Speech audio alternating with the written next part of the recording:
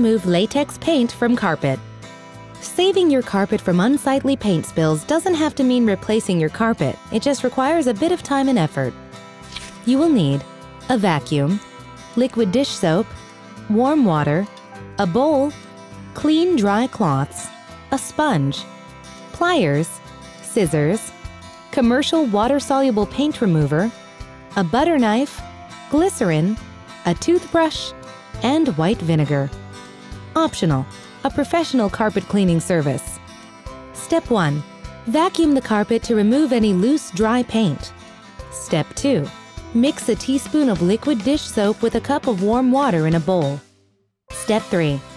Blot the stain with the soap and water mixture using a clean cloth. Rubbing the paint stain with the cloth will only spread the paint around. Step 4. Sponge the stain with clean water to remove any paint and soap. Step 5. Blot the area dry with a clean cloth and allow it to dry overnight. Step 6.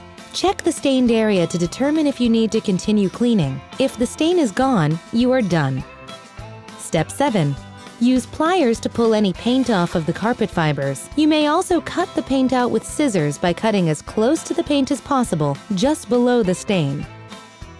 Cutting out a stain could leave a bald spot in your carpet.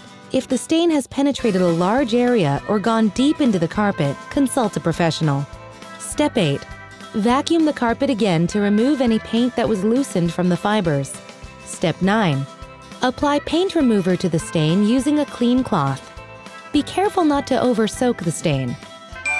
Always do a test corner on the stain as it may discolor your carpet or fail to remove the paint. Step 10. Remove the paint with a butter knife as it softens. If the paint will not come up, slather it with glycerin and let it sit. Step 11.